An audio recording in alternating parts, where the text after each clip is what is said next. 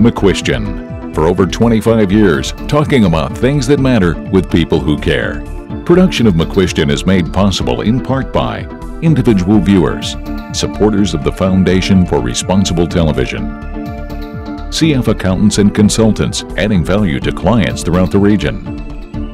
The University of Texas at Dallas, creating the future.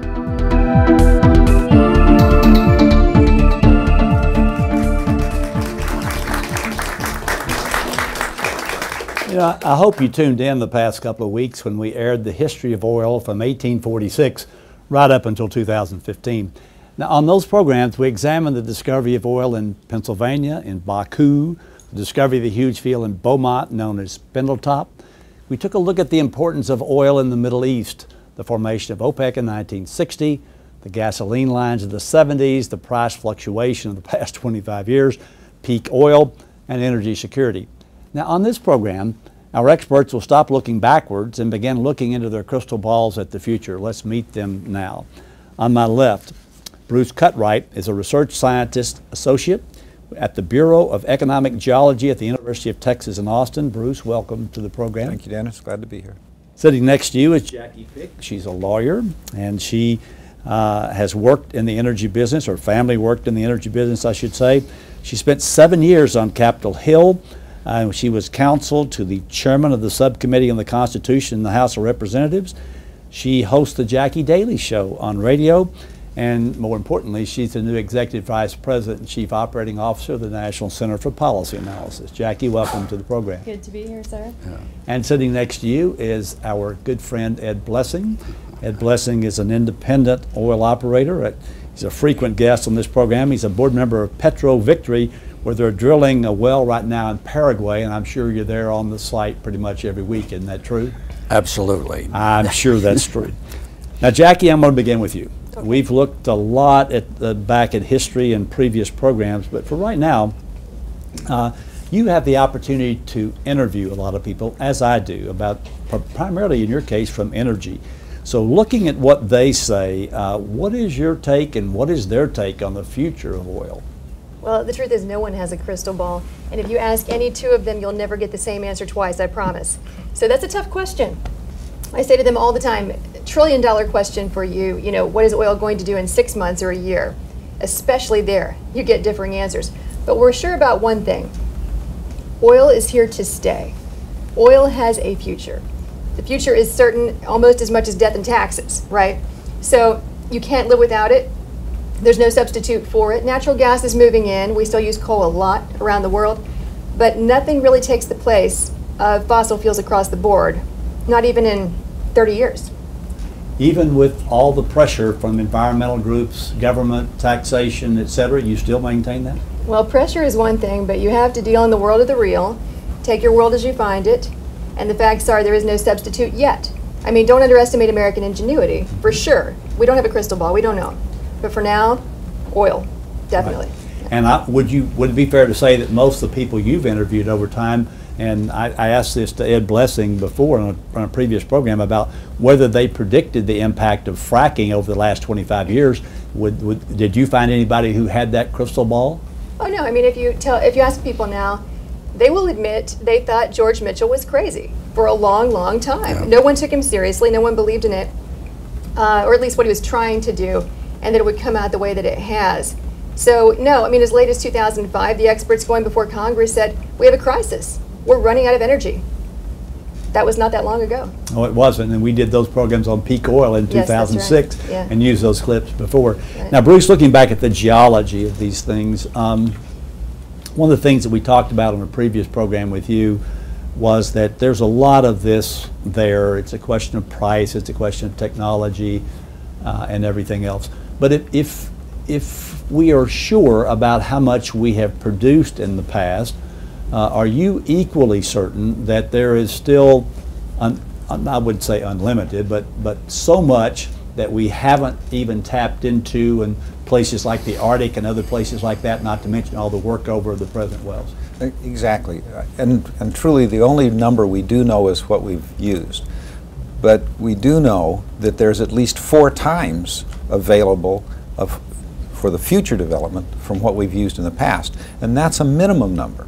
Uh, we've mentioned before, the Arctic has not been uh, developed except for minor drilling off the, the north slope of Alaska. Right now, there's a huge movement from the Russians, from the Americans, from the international oil companies to move into the Arctic. There's a huge development going on offshore uh, Brazil with what's called the pre-salt deposits. We're producing oil from formations as much as 30,000 feet deep. Uh, they're just beginning to find uh, productive wells in the same type of formations offshore Angola, basically offshore West Africa.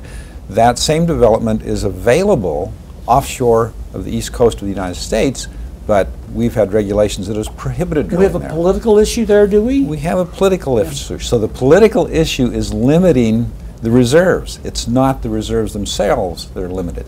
Well, so, oh, okay, so look, I'm, I'm not an oil and gas guy, I got it. 30,000 feet in water. That's right. So wh- wh- what, what do we run down here? A PVC pipe or something down five miles? I'm unclear on how that works. The drilling technology, uh, for comparison, if we were to drill a well, let's say 30,000 feet deep, in Texas onshore, that well might cost us 12 to 25 million dollars. Pretty expensive. But to drill a 30,000 foot well offshore Brazil in the pre-salt uh, formations, that well itself might cost a billion dollars. And so the reason we're doing that is because those formations are so productive that that well will produce profitable income over the life of that well that will recover all of that cost of exploration. So those deep formations that we're now looking at, offshore Brazil, and deep formations, deep water development in the Gulf of Mexico, offshore Southeast Asia, offshore Australia, offshore Arctic, every one of those formations is still available to be drilled and is unquantified for the present time. This is the kind of stuff you hear, right, Jackie? Yeah, oh yeah, on my show? Yeah. Yeah, you, you don't know the future, and, and no matter what, estimates always grow, always. Yeah. They don't These go days. the other way. That's, that's for sure. We have never had that. Now, Ed, there, there is at least one person watching this program who doesn't know the difference in an independent oil producer and one of the majors. So tell us what that is, number one, and then, you know, there was an announcement the other day that Exxon's going into the Arctic and all this. I mean, tell us, uh, just give us some idea of what this is all about and how exciting it is from your perspective. Well, an independent, generally, it's, it's smaller, just by definition, and we have a lot more flexibility. Uh, Sometimes we have to work harder to get what Exxon did, but with Exxon, we've heard Scott Nauman, and he's brilliant, and uh, they can afford people like that. The excitement is what Drucker said at one time. We talk about the oil business, there's a risk below the surface, and then there's a risk above the surface, and it's political, and it becomes very serious. I mean, we talked about the Arctic, China, Russia, uh, the U.S. Uh, it's opening up, and the thaw we're having. uh, You know, 20 years ago, as far as the Canadians were concerned, their international defense was getting on the phone and telling the U.S. that it's on its way. Now they're exposed, and for the first time in the last 10 years, the Canadians have to worry about their security. So in one way, we're ending up with a great partner. We're uh, with with Canada. We've always been a good partner, even though we can't seem to get a pipeline approved to bring some of the product down.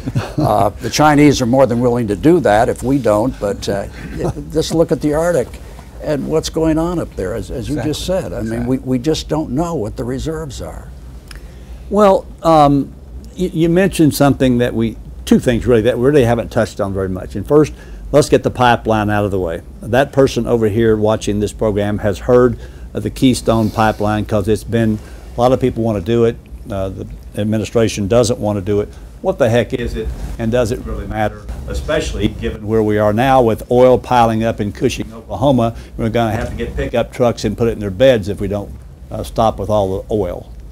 Yeah, I, I can't see where it's that big of a big of a deal. It's a pipeline that's going to bring heavy oil down from Canada to the U.S. where we can refine it. Uh, it's safer. We just what two three weeks ago had a train wreck. With, uh, It's safer. The safest method of transporting oil is by pipeline. And- transporting any volatile substance is Yeah, by and, pipeline. and we've seen the truck wrecks and that train that derailed with all the oil in it, and pipelines. Uh, maybe they leak, but in and we just uh, cordon off part of uh, Alaska, and we know that with the pipelines in Alaska, the uh, the moose up there like to hide under it because it's warmer. So uh, you know we're, we're Dennis, uh, I, I would add for you that keep it all in perspective. There are greater than 2 million miles of pipeline already beneath